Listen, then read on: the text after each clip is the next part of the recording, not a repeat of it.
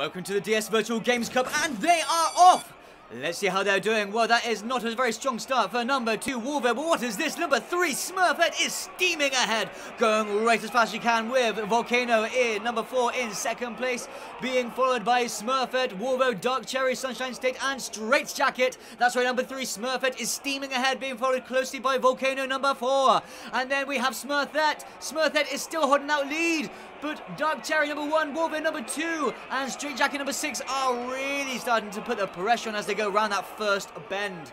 So they're keeping it up. That's right. Smurfette is holding a steady, consistent lead, but is being challenged by Volcano number four, being followed by Sunshine State, which is number five, with Wolvo Straight Jacket and Dark Cherry in hot pursuit.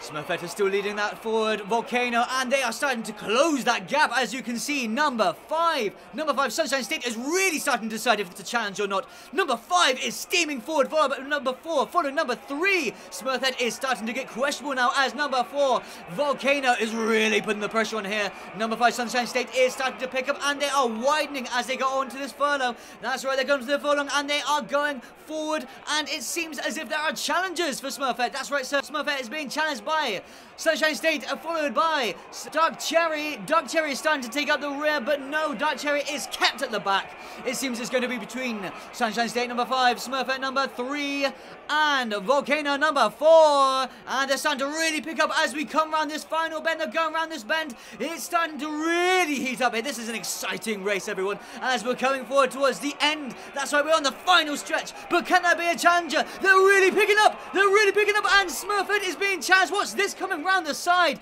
I can see Straight Jacket really picking up, but is number five. Sunshine State is pipping forward, has bolted forward, and is really going to claim that lead. Can anyone take on Sunshine State in this last, last part of the race? I don't think so. I think this is going to be a clear win for number five, and it is. It is by a mile. Sunshine State, Sunshine State is the winner of the DS Virtual Games Cup today.